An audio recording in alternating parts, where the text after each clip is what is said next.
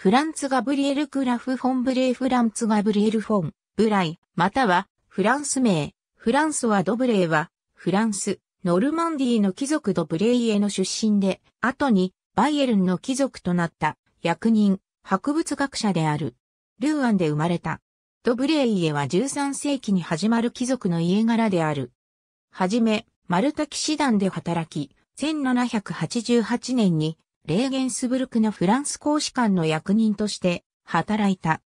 フランス革命による混乱のために1799年にバイエルン公国の官僚となり、有力な政治家モンジュラ伯爵、マクシミリアンの友人となり、顧問となった。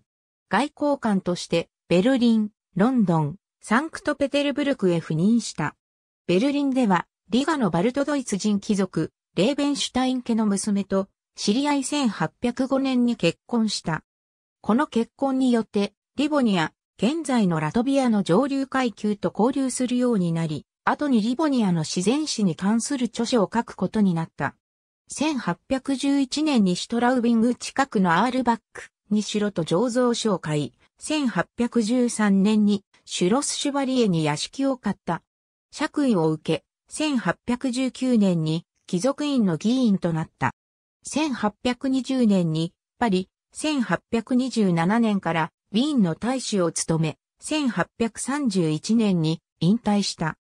レーゲンスブルクにいた時代から植物学者のダーフィット・ハインリヒ・ホッペと知り合い、同郷の友人ディバルと共に、1790年に設立されたレーゲンスブルク植物学協会で熱心に活動した。ゲーテの友人で古生物も研究した博物学者のシュテルンベルクにも植物学者として知られるようになった。